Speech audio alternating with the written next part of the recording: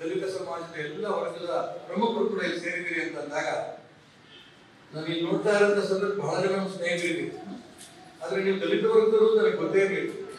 ಇಲ್ಲಿ ನೋಡಿದ್ರೆ ಗೊತ್ತಾಗ್ತದೆ. ಯಾಕೆಂದ್ರೆ ಭಾರತೀಯ ಜನತಾ ಪಾರ್ಟಿ ಜಾತಿ ನೋಡಲ್ಲ ಇಡೀ ದೇಶದಲ್ಲಿ ಇಲ್ಲಿ ಬೆಳೀತಾ ಇರೋದಕ್ಕೋಸ್ಕರನೇ ಜಾತಿ ನೋಡದೇ ಇರೋದಕ್ಕೋಸ್ಕರ ಈ ಪಾರ್ಟಿ ಬೆಳೀತಾ ಹೊಸ ಹೊಸ ಹೊಸ ಮುಖಗಳು ಜಿಲ್ಲಾ ಅಧ್ಯಕ್ಷರು. ಅವರು ಪ್ರಾರಂಭದಲ್ಲಿ ಮಾತಾಡ್ತಾರಂತ ಸಂದರ್ಭದಲ್ಲಿ ದಿನ ಆಯ್ತು ನಾನು ಅಧ್ಯಕ್ಷನಾಗಿ ಎಷ್ಟು ಸೊಗಸಾಗಿ ಮಾತಾಡಿದ್ರು ನೀವೆಲ್ಲ ನೋಡಿದ್ರಿ, ನಾನು ಅಭಿನಂದನೆ ಸಲ್ಲಿಸ್ತೀನಿ. ಎಲ್ಲವೂ ಕಲ್ತ್ಕೋಬೇಕು ನಾವೆಲ್ಲರೂ ಕೂಡ ಮೈಕ್ ಸಿಕ್ಕರೆ ಬಿಡಬಾರ್ದು ನಾಗೇಶ ಸಿಗದೆ ಕಮ್ಮಿ ಸಿಕ್ಕಾಗ ಬಿಡ್ಬೇಕು ಹಾಗಾಗಿ ನಾನೇನ್ ಹೇಳ್ಕೊಟ್ಟಿದ್ದೀನಿ ಅಂತಂದ್ರೆ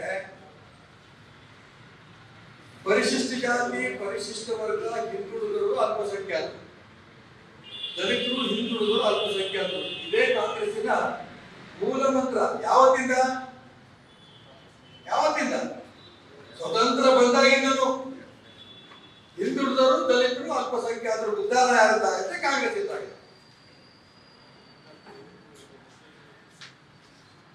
ಯಾವ್ದಾದ್ರೂ ದಲಿತ ಕಾಲೋನಿಗಳಿಗೆ ಹೋದ್ರೆ ಅವ್ರ ಮಕ್ಕಳಿಗೆ ವಿದ್ಯಾಭ್ಯಾಸ ಕುಡಿಯೋ ನೀರು ಮನೆ ಇಡೀ ದೇಶದಲ್ಲಿ ಇದೆಯಾ ಯಾವುದೇ ಹಿಂದುಳಿದ ಕಾಲೋನಿಗೆ ಇಲ್ಲ ಸ್ವಲ್ಪ ಅಲ್ಪಸಂಖ್ಯಾತರಿಗೆ ಅನುಕೂಲ ಮಾಡ್ಕೊಡ್ತಾ ಇಲ್ಲ ಇರ್ಲಿ ನಾನು ಅದ್ರ ಬಗ್ಗೆ ನಮ್ಗೇನು ಬೇಜಾರ ಜಿಲ್ಲಾ ರಾಮನಾಯಕ್ ಹೋರಾಟ ಮಾಡಬೇಕಾಗಿದೆ ನಾವು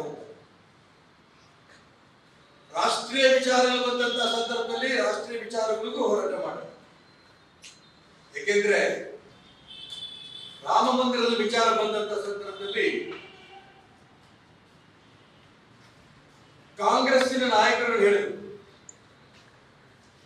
ರಾಮ ಮಂದಿರದ ರಾಮನ ಪ್ರತಿಷ್ಠಾಪನಾ ಸಂದರ್ಭಕ್ಕೆ ಹಿಂದುಳಿದವರಿಗೆ, ದಲಿತರಿಗೆ ಆಹ್ವಾನವೇ ಇರಲಿಲ್ಲ. ಸುಳ್ಳು ಹೇಳೋದ್ರಲ್ಲಿ ಮೊದಲು ಮಿಸ್ಸಿಂಗ್ ಎರಡನೇ ಉದಾಹರಣೆ ಕೊಟ್ಟಾರ ಒಂದು ಮಾದ ರಚನೆಯ ಇನ್ನೊಂದು ಕಾಗಿನೆಲೆ ಯೋಜನಾತ್ಮಕ ಅಂತ ಗುರಿಫಾರ್ಮ್ ಅವರಿಬ್ರು ಕೂಡ ಹೋಗಿ ಅಯೋಧ್ಯೆಯಲ್ಲಿ ನಮ್ಮ ಜನ್ಮ ಸಾರ್ಥಕ ಆಗಿತ್ತು, ಆಯ್ತು ಅನ್ನೋದನ್ನ ಮಾತನ್ನ ಟಿವಿನಲ್ಲಿ ನಾನು ನೋಡಿದೆ.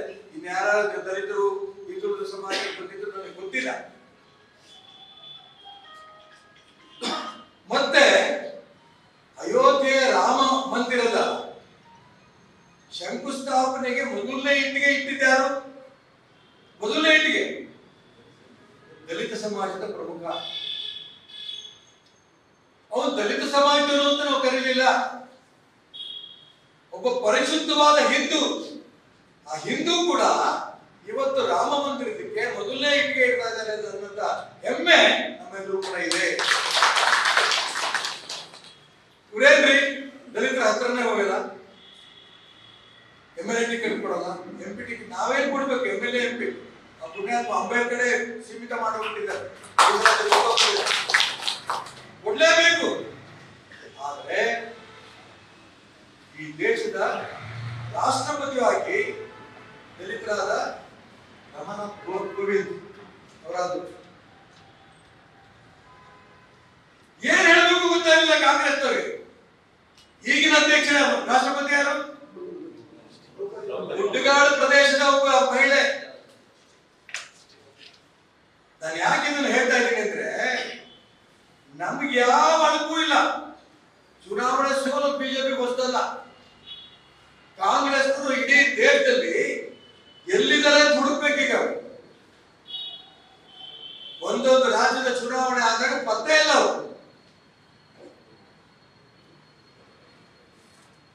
ಕಳೆದ ಬಾರಿ ಲೋಕಸಭೆಯಲ್ಲಿ ವಿರೋಧ ಪಕ್ಷ ಸ್ಥಾನ ತಗೊಂಡಿದ್ರು ಅವ್ರ ಕೈಲಾಗಲಿಲ್ಲ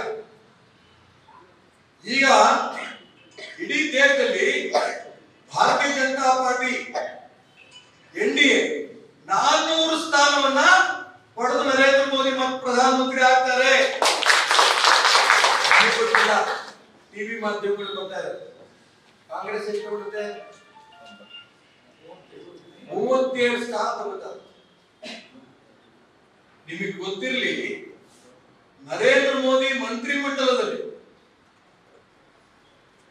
ಇಪ್ಪತ್ತೇಳು ಜನ ದಲಿತ ವರ್ಗದ ಮಂತ್ರಿಗಳಿದ್ದಾರೆ ಹತ್ತು ಜನ ಸಾರಿ ಮೂವತ್ತೇಳು ಜನ ಹಿಂದುಳಿದವರು ಬೇರೆ ಹತ್ತು ಜನ ದಲಿತ ವರ್ಗದವರಿದ್ದಾರೆ ನಲವತ್ತೇಳು ಜನ ಇದೆ ಹಿಂದಿನ ಯಾವುದೇ ಸರ್ಕಾರದಲ್ಲಿ ಇರಲಿಲ್ಲ ಇನ್ನು ನೀವು ಬಿಜೆಪಿಯ ಸಾಮಾನ್ಯ ಒಬ್ಬ ಕಾರ್ಯಕರ್ತ ಅಂತ ಅನ್ಕೋಬೇಡಿ ಎಸ್ ಸಿ ಮೋರ್ಚಾ ಲೀಡರ್ ಜಿಲ್ಲಾ ನಾಯಕ ನಾನು ಇವೆಲ್ಲ ಅರ್ಥ ಮಾಡ್ಕೋಬೇಕು. ಏನು ನಿನ್ನೆ ಮಾನ್ಯ ಎಚ್ ಸಿ ಮಹಡಿ ಮುಖ್ಯಮಂತ್ರಿ ಮಾಡಿ ಯಾರಿಗೆ ಕೇಳ್ತೀರಿ? ಕೂತ್ಕೊಳ್ಳಿ ನಿಮ್ ಶಾಸಕಾಂಗ ಪಕ್ಷ ಸಭೆಯಲ್ಲಿ ನಿಮ್ ಎ ಸಿ ನಾಯಕರ ಹತ್ರ ಕೂತ್ಕೊಳ್ಳಿ. ಸೋನಿಯಾ ಗಾಂಧಿ, ರಾಹುಲ್ ಗಾಂಧಿ ಹತ್ರ ಕೂತ್ಕೊಳ್ಳಿ. ದಲಿತ ಮುಖ್ಯಮಂತ್ರಿ ಮಾಡಿ ಅಂತ ಹೇಳಿ. ಚುನಾವಣಾ ಬಂದಾಗ ದಲಿತ ಮುಖ್ಯಮಂತ್ರಿ ಮಾಡಿ ಅಂತ ಯಾಕೆ ಹೇಳ್ತಾರೆ? ದಲಿತರು ಓಟು ಅಷ್ಟು ಸುಲಭ ಇವತ್ತು ಹಿಂದುಳಿದವರು ದಲಿತರು ದೇಶದಲ್ಲಿಲ್ಲ ನಾನು ಹೆಮ್ಮೆಯಿಂದ ಹೇಳ್ತೇನೆ ಇವತ್ತು ನರೇಂದ್ರ ಮೋದಿ ಪ್ರಧಾನಮಂತ್ರಿ ಆಗಲಿಕ್ಕೆ ಪ್ರಮುಖ ಕಾರಣ ಹಿಂದುಳಿದ ವರ್ಗ ಮತ್ತು ದಲಿತರ ಓಟ್ನಿಂದಲೇ ಪ್ರಧಾನಮಂತ್ರಿ ಆಗಿದ್ದಾರೆ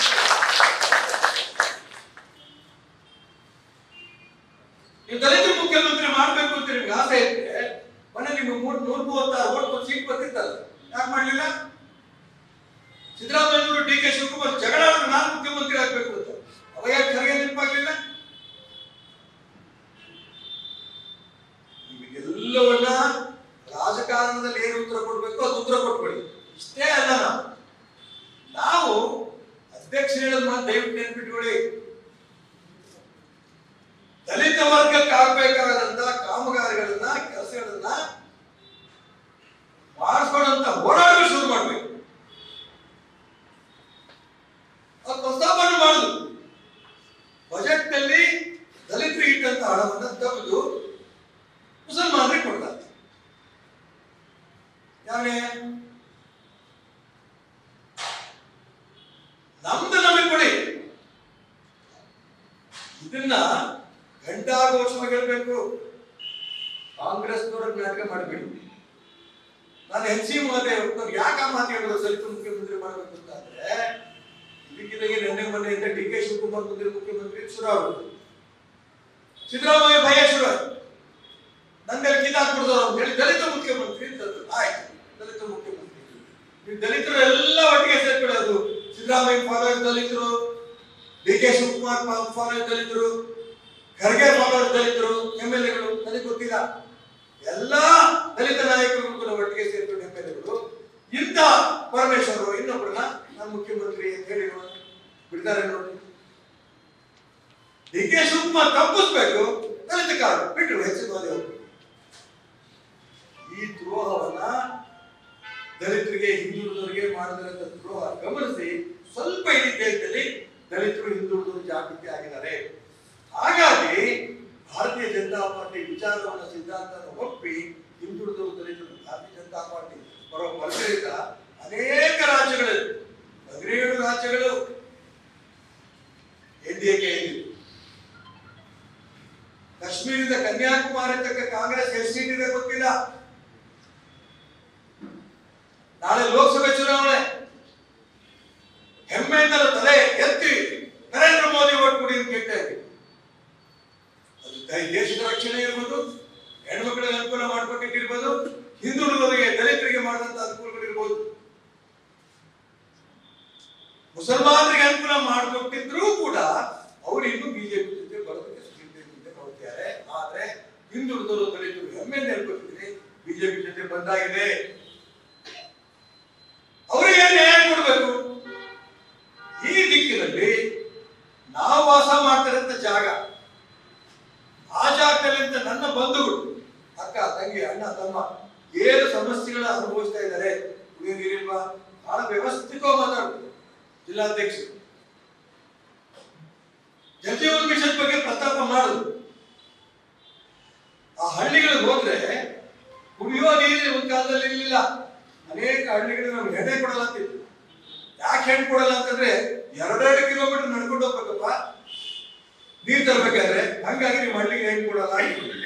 ಮನೆ ಮುಂದೆ ಟ್ಯಾಪ್ ಓಪನ್ ಮಾಡ್ತಾ ಇರ್ತಾರೆ ಎಲ್ಲಿ ಆಗಿಲ್ಲ, ಅಲ್ಲಿ ನಿಮ್ ಕೆಲಸ. ಅಲ್ಲೇ ಜಿಲ್ಲಾ ಪಂಚಾಯತ್ ಹೋಗಿ ಕೂತು ಚರ್ಚೆ ಮಾಡಿ, ಇಂಥ ಗ್ರಾಮಕ್ಕೆ ಬಂದಿಲ್ಲ ಇಂಥ ಕಾಲೋನಿ ಬಂದಿಲ್ಲ ಕೊಡ್ಲಿಲ್ಲ ಅಂದ್ರೆ ನಿಮ್ಮ ಆಫೀಸ್ ಮುಂದೆ ಧರಣಿ ಕೊಡ್ತೇವೆ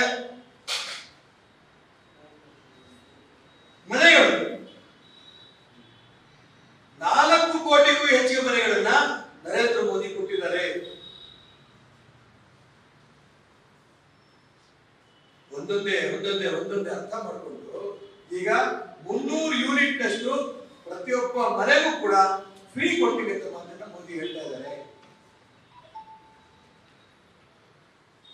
ನಾನು ಹೆಚ್ಚಿಗೆ ರಾಜಕಾರಣ ನಿಮ್ಮ ಜೊತೆ ಮಾತಾಡಕ್ ಹೋಗ್ತಿಲ್ಲ ಈಗ. ಯಾಕೆ? ನಾವು ಬಿಜೆಪಿ ಕಾರ್ಯಕರ್ತರು. ನಮ್ಗೆ ಮೋರ್ಚಾಗಳು ಯಾಕೆ ಮಾಡಿದ್ದಾರೆ? S C Morcha, S T Morcha ಹಿಂದುಳಿದ ವರ್ಗದ ಮೋರ್ಚಾ, ಅದೇ ರೀತಿ ರೈತ ಮೋರ್ಚಾ, ಮಹಿಳಾ ಮೋರ್ಚಾ ಯಾಕೆ ಮಾಡಿದ್ದಾರೆ? ನಮ್ಮ ನಮ್ಮ ಗುಂಪಿನಲ್ಲಿ ಸಂಘಟನೆ ಮಾಡಿ ಅವ್ರಿಗೆ ನ್ಯಾಯ ಕೊಡಿಸೋದಕ್ಕೋಸ್ಕರ ಈ ಮಾರ್ಗ ಮೋರ್ಚಾ. ನಾವೇನು ಬಿಜೆಪಿಯಿಂದ ದೂರ ಇರೋಂಥ ಮೋರ್ಚಾ ಅಲ್ಲ ನ್ಯಾಯ ಕೊಡಿಸ್ತಾ ಕೊಡಿಸ್ತಾ ಕೊಡಿಸ್ತಾ ನಾವೆಲ್ಲರೂ ಹಿಂದೂ ಸಮಾಜವೇ ಹಿಂದೂ ಸಮಾಜದಿಂದ ದೂರ ಮಾಡಕ್ ಸಾಧ್ಯನೇ ಇಲ್ಲ ನಾವು ಹಾಗಾಗಿ ಈ ಹಿಂದೂ ಸಮಾಜವನ್ನ ಒಂದು ಮಾಡೋ ನಿಟ್ಟಿನಲ್ಲಿ ಅನೇಕ ಮಹಾಪುರುಷರು ಪ್ರಯತ್ನ ಮಾಡಿದ್ದಾರೆ ಮಹಾತಂದ್ರೆ ಅಂಬೇಡ್ಕರ್ ಹೆಸರಿಟ್ಟರೆ ಸಂವಿಧಾನ ಅಂತ ಹೇಳ್ತಾರೆ ಕಾಂಗ್ರೆಸ್ ಅಂಬೇಡ್ಕರ್ ಅವರ ಚುನಾವಣೆ ಸೋಲಿಸಿದ್ಯಾರು ಅದನ್ನು ಹೇಳಲ್ಲ ಅವರು. ಅಂಬೇಡ್ಕರ್ ತೀರೋದಾಗಿದೆ ಅಂತ್ಯ ಸಂಸ್ಕಾರಕ್ಕೆ ಜಾಗ ಕೊಡ್ಲಿಲ್ಲ ಯಾರು ಹೇಳ್ತಾ ಹೋದ್ರೆ ದಲಿತರು ಮಾಡೋಂಥ ಮೋಸಗಳನ್ನ ನೆನಪು ಮಾಡ್ಕೊಂತ ಹೋದ್ರೆ ನೂರು ಹೇಳ್ಬೋದು ನಾವು ಇವತ್ತು ಕಾಂಗ್ರೆಸ್ನವ್ರು ಏನೇ ತಪ್ಪು ಮಾಡಿದ್ದಾರೆ ಅದನ್ನ ಹೇಳೋದಕ್ಕಲ್ಲ ಆ ಹಿಂದುಳಿದ ವರ್ಗದವರಿಗೆ ದಲಿತರಿಗೆ ಯಾವ ರೂಪದಲ್ಲಿ ನ್ಯಾಯ ನ್ಯಾಯ ಕೊಡಬೇಕು ಇಷ್ಟು ದೊಡ್ಡ ಸಂಖ್ಯೆಯಲ್ಲಿ ಬರೀ ಪರಿಶಿಷ್ಟ ಜಾತಿ ಜನ ನಾವು ಸೇರಿದ್ದೇವೆ. ನಮ್ಮ ತಾಲೂಕಲ್ಲಿ ಈ ರೀತಿ ಸಂಘಟನೆ ಮಾಡುವಂತ ಪ್ರಯತ್ನ ನಡೆಸಬೇಕು. ಚುನಾವಣೆ ಹೇಗಿದ್ರು ನಮ್ಮ ರಿಸರ್ವೇಶನ್ ಇದೆ. ಎಂ ಎಲ್ ಎ ರಿಸರ್ವೇಶನ್ ಇದೆ ಎಂ ಪಿ ರಿಸರ್ವೇಶನ್ ಇದೆ. ಸರಿಯಾದ ವ್ಯಕ್ತಿ, ಜನರ ಮಧ್ಯೆ ಟಿವಿ ನೋಡ್ತಾ ಇದ್ದೇವೆ. ಎಲ್ಲ ಪಕ್ಷದಲ್ಲೂ ಕೂಡ ಆ ಇಂತರ ಎಂ ಪಿಗೆ ಟಿಕೆಟ್ ಕೊಡಬೇಡಿ. ಯಾರು ಹೇಳ್ತಿದ್ದಾರೆ? ಆಯಾ ಪಕ್ಷದ ಕಾರ್ಯಕರ್ತರೆ.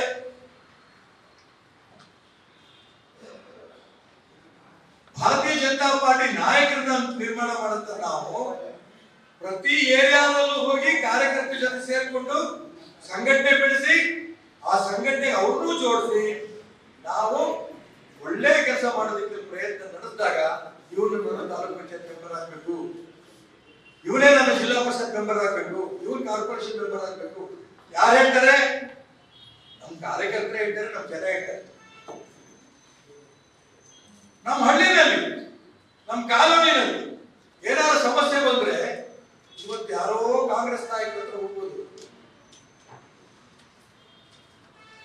ಅವ್ರಿಗೆ ಅನ್ನಿಸ್ಬೇಕು ಯಾವ್ದೋ ಗಲಾಟೆ ಆಯ್ತು ಪೊಲೀಸ್ ಸ್ಟೇಷನ್ ನಮ್ಮ ಬಿಜೆಪಿ ನಾಯಕ ಇದ್ದಾರಪ್ಪ ಅವ್ರ ಮನೆಗೆ ಹೋದ್ರೆ ನಂಗೆ ನ್ಯಾಯ ಸಿಗುತ್ತೆ ಅಥವಾ ತಾಲೂಕು ಆಫೀಸ್ ಕೆಲಸ ಆಗ್ಬೇಕು ಇವಂತ ಹೋಗ್ಬೇಕು ಅನ್ನೋದನ್ನ ಸಮಸ್ಯೆ ಜನರಿಗೆ ಹರಿಜನರಿಗೆ ಗಿರಿಜನರಿಗೆ ಇರ್ಬೋದು ಹಿಂದುಳಿದ ದಲಿತ ಬೇರೆ ಇರ್ಬೋದು ಅಥವಾ ಯಾರಿಗೇ ಇರ್ಬೋದು ಯಾರಿಗೇ ಸಮಸ್ಯೆ ಬಂದರೂ ಕೂಡ ತಕ್ಷಣ ಆ ಜನಕ್ಕೆ ನೆನಪಾಗಬೇಕು ಇಲ್ಲಪ್ಪ ಬಿಜೆಪಿ ಹೇಳಿದ್ದಾನೆ ಇವನ ಹತ್ರ ಹೋದ್ರೆ ನನ್ನ ಸಮಸ್ಯೆ ಪರಿಹಾರ ಆಗುತ್ತೆ ನಾನು ಬೆಂಗಳೂರಲ್ಲಿ ಅನೇಕ ಬಾರಿ ನೋಡಿದೆ ಅನೇಕ ಕಾಂಗ್ರೆಸ್ ನಾಯಕರು ಬರ್ತಾರೆ. ಅಂತ ಜೊತೆ ಪಾಪ ಬಡವ ಒಬ್ಬರು ಇಬ್ಬರು ಇಬ್ಬರು ಬರ್ತಾರೆ. ಹಣ ಇವಾಗ ಕೆಲಸ ಆಗ್ಬೇಕು. ನಾನು ಬೆಂಗಳೂರಿಗೆ ಕರ್ಕೊಂಡ್ಬಂದು ಕೆಲಸ ಆಗ್ಬೇಕು ಅಂತ ಹೇಳಿದ್ದಕ್ಕೆ ಬಗ್ಗೆ ನನ್ನ ಅಬ್ಜೆಕ್ಷನ್ ಇಲ್ಲ. ಆದ್ರೆ ಅವ್ರಿಗೆ ಆಗ್ಬೇಕಾದಂತ ಕೆಲಸವನ್ನ ದೊಡ್ಡ ನಾಯಕರುಗಳ ಹತ್ರ ಕರ್ಕೊಂಡ್ ಬಂದು ಪರಿಚಯ ಮಾಡಿಸಿ. ಆಗತ್ತೋ ಬಿಡುತ್ತೋ ಬೇರೆ. ಶಿವಮೊಗ್ಗದಿಂದ ಬೆಂಗಳೂರು ಹೋಗಿ, ಬೆಂಗಳೂರಿನಲ್ಲಿ ರೂಮ್ ಮಾಡಿ ಅಲ್ಲಿ ಊಟ, ತಿಂಡಿ ಎಲ್ಲ ಮಾಡಿ ಆ ಕೆಲಸ ಆಗತ್ತ ಬಿಡುತ್ತೆ, ವಾಪಸ್ ಬರ ಕೂಡ ಖರ್ಚಾದ್ರು ಆ ಬಡವರು ಏಯ್, ನೀನ್ ದೊಡ್ಡ ಕರ್ಕೊಂಡು ಹೋಗಿ ಕೆಲಸ ನಾವು ಮಾಡ್ಕೊಡ್ತೀವಿ ದುಡ್ಡು ಕೊಡು. ನಮ್ಮ ಮರಿ ಕೂಡ ಉದ್ಧಾರ ಆಗುತ್ತೆ. ಆ ಬಡವ ನಿಮ್ಮ ಯಾಕೆ ಬರ್ತಾನೆ ಬಿಜೆಪಿ ಲೀಡರ್ ಇದ್ದಾರೆ ಇವರ ಹತ್ರ ನಮಗೆ ನ್ಯಾಯ ಸಿಗುತ್ತೆ ಅವ್ರ ಜೋಬನ್ನ ಖಾಲಿ ಮಾಡೋದಕ್ಕಲ್ಲ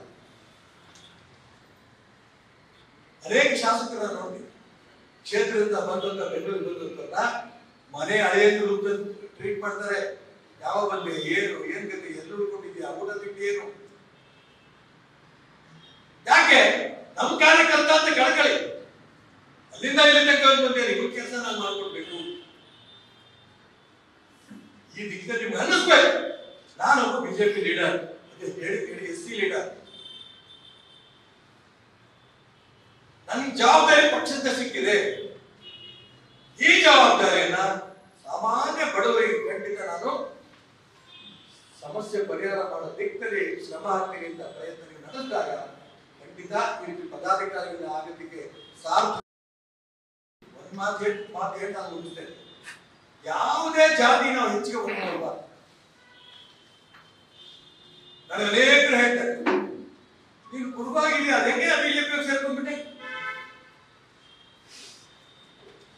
ನಾನು ಕೇಳಿದೆ. ಆದ್ರೆ ನಾನು ಹೇಳ್ತೀನಿ ಅವ್ರಿಗೆ. ನಾನು ಕುರುಬ ಅಂತ ಸೇರ್ಕೊಂಡಿಲ್ಲ. ಹೆಮ್ಮೆ ಅಂತ ಹೇಳ್ಕೊತೀನಿ. ನಾನೊಬ್ಬ ಹಿಂದೂ.